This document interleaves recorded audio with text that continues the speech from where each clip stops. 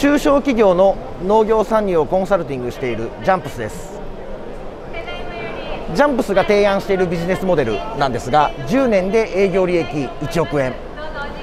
その方法としてはですね2つビジネスモデルをご紹介しています。1つはトマト直販モデル。これは出荷型のモデルでございます。もう1つビジネスモデルとしては集客型のいちごいちご狩り観光農園モデルでございます。でおそらくですねこういう話をするとですねそんなの本当にうまくいくいくのとおっしゃられる方もいらっしゃるかと思いますがまずですね我々のビジネスモデルをぜひ知っていただきたいなというふうに思います。そのためにですね Zoom で企業のための農業参入無料説明会を開催しております。こちらに記載している日程に関しては来週の21日、22日だけなんですが不定期で、えっと、おそらく大体月に1回から2ヶ月に1回は開催しておりますのでぜひご参加いただければなというふうに思います。内容に関しましてはこれから農業参入を検討される企業様にとって、